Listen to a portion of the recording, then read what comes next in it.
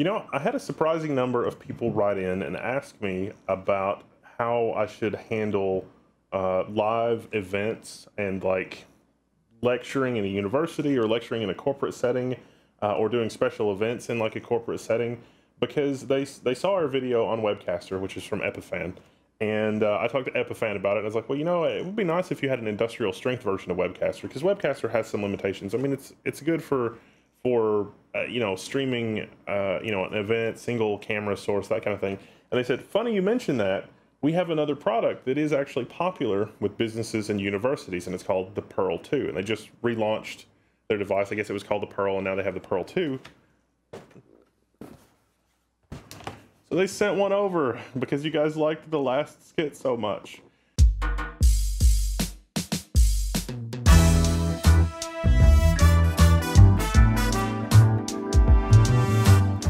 2 is basically everything you need for live production in a box. And the reason that I agreed to take a look at it was because it will handle six 1080p input streams.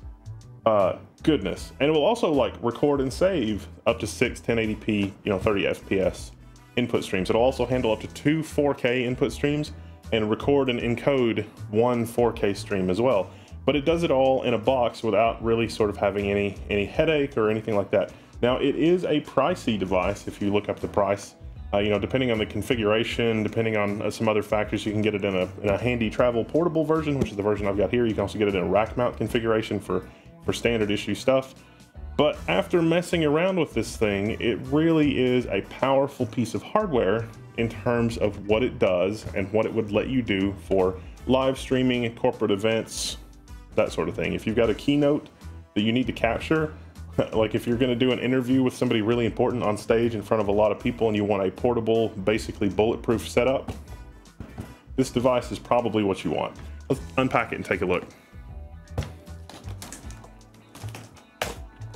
So if you get the non-rack mount version, it ships to you basically exactly like this. You've got a really nice hard shell plastic. Oh my goodness travel case. Look at that. And everything that you need is in here. Now the device itself is only 10 pounds, but you can tell this is made for people that are on the road a lot and uh, doing a lot of traveling and that sort of thing, so. Look at that, look how much padding that is. Here is the device itself. This is basically a computer with a 512 gig SSD, but it's also got a lot of Epiphan's video capture hardware built right in as well. And good lord, this thing is powerful. In the box, we've got an assortment of power cables, network cable, HDMI, SDI for uh, high definition video input. It's a 12G SDI input. There are two of them actually, and one HDMI to DVI adapter in case you're, you know, dealing with DVI as an input or as an output. So this has got a built-in touch screen on the front for controlling the device, uh, power button, USB, headphone, um, and then on the back, you see we've got a number of connectors. Now there are four XLR inputs on the back. Do note that phantom power is not supported. There's also a left and right input as well for RCA jacks. We've got four HDMI inputs, two that are 4K, two that are standard def, and then we've got two uh, 12G SDI inputs. Then we have two HDMI outputs and a, an A and a B USB 3.0, as well as gigabit Ethernet. There's also an RS-232 uh, port, and if you're a programmer or into somebody that's into API control, you can actually use the serial port to control scripting and movement through the devices and, and that sort of thing. So if you want to use, you know, this is basically like part of a low budget studio or like a low budget production house and you want to chain a bunch of these together, you can totally do that programmatically however you want with your own custom software. In fact, there's a rack mount version of this. It's actually two of these side by side so you can chain them together. You can send a bunch of inputs into one, set up the scenes grouped however you want, and then send the output of that one into the input of the other one, and then chain in a bunch more inputs that way as well, depending on, on what you're doing. So it's kind of neat and scalable in that regard. Now, one feature about this device uh, that's just really mentioned as kind of a footnote, but I think really deserves special attention, is that it can actually use IP cameras as an input. So if you have an IP camera like this Grandstream, you know, 1080p, 60 FPS networked camera, you can network the camera and actually use networked cameras like that as an input for the Pearl 2.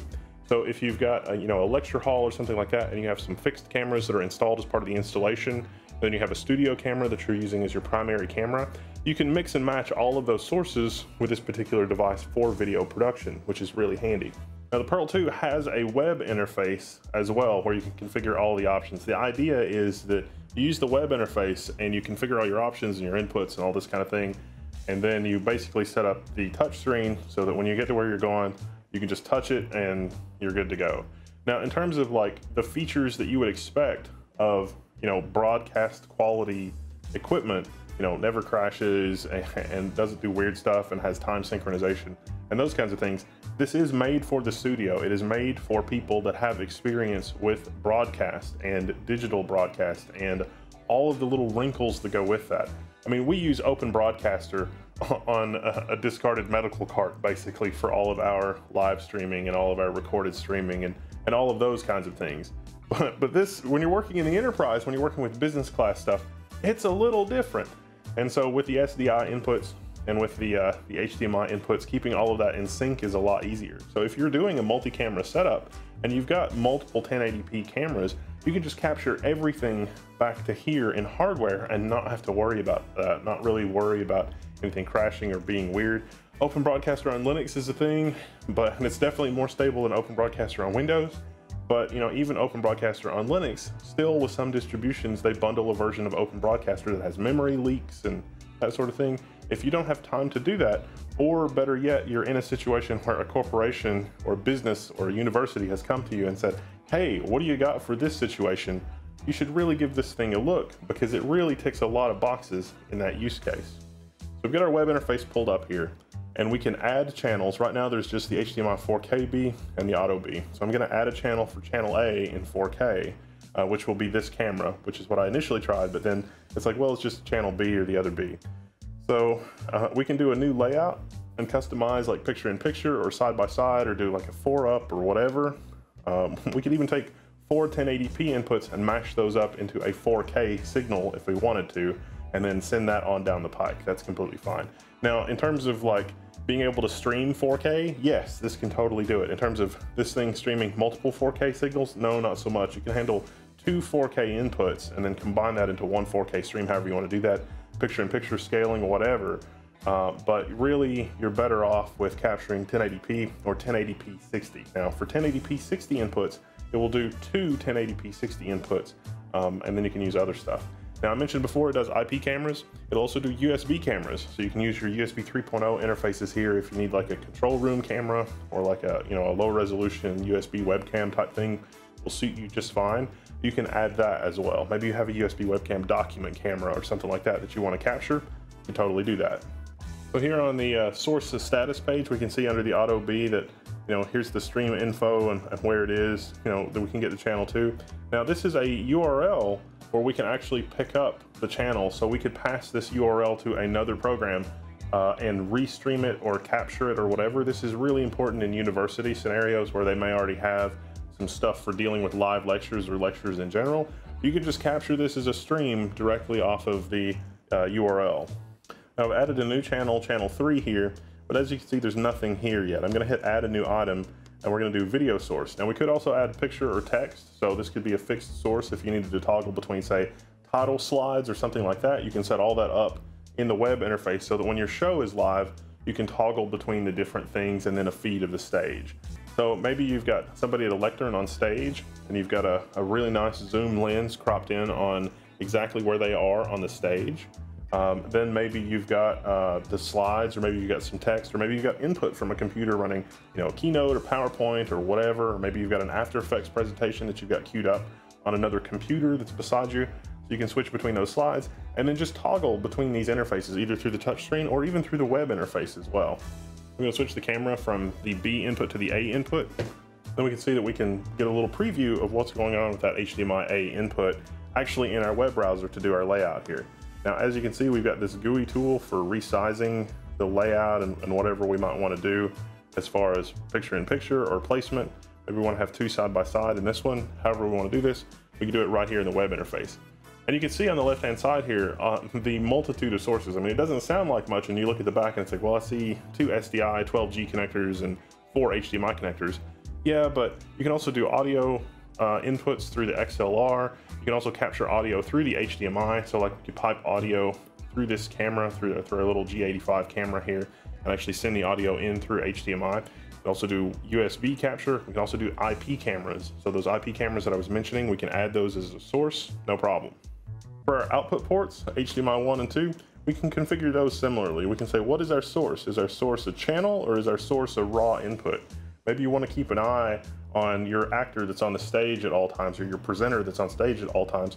You can take his camera and map it directly to HDMI output 1. Maybe output HDMI out, output 2, you want to see what you're actually sending to the projector or actually sending to the stage or whatever. So you can have both of those outputs from this thing with two different previews. You can also toggle between them by just coming in here and changing the input. Now 512 gigs internally sounds great. What if you need more? Well, you can use the USB 3 for external storage. You can come in the menus here, external USB drive. How is USB storage to be treated? Well, it can be used for a one-time move copy of files. It can be used to manually move things. It can be used to automatically store and copy recorded files. So depending on what your use case is and what you want to do, you can use an external USB drive however you see fit. Now, one of the most powerful features of this device that I have not really seen anybody else mention is the ability to back up and restore your configuration. Let's say that you run, you know, an equipment rental outfit or an agency, or maybe you work with three or four different clients on events like this, and you need to be able to sort of set it up the way that each client wants on the fly. It can be a lot of work to configure all these sources and the different inputs and what cameras you're gonna have and how the show is gonna be that kind of thing.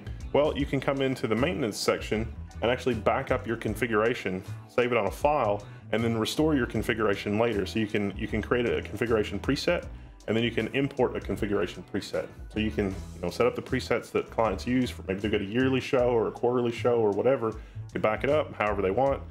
So as you do the show from year to year, it's probably not going to change much. You can restore the configuration without having to remember exactly what you did and without having to do, you know, like super laborious, super detailed documentation of exactly how every screen is. Now in the recorder, you can set it up to either record the raw sources or to record, you know, a channel that you've set up that may include one or more sources from the individual devices.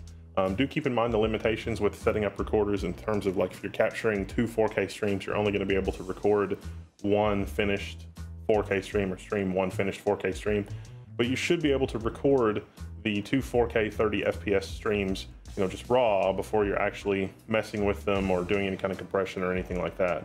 Uh, but you can configure all of that again through the web GUI. And then whatever you configure here, when you touch the record button on the actual touchscreen interface, it's going to run with that recording profile, or it'll ask you which recording profile you want to use, and you can, you know, do it through the uh, touch interface.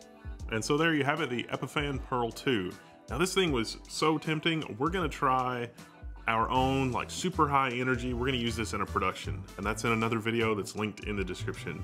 And uh, it's sort of our send up to high energy, over the top, insane, oh my God, check it out, ah, videos. So yeah, we had a lot of fun with that. Uh, let us know what you think about all that. Let us know what you think about these if you pick up one of these for professional purposes or whatever. I'm Wendell, and I'll see you in the forums.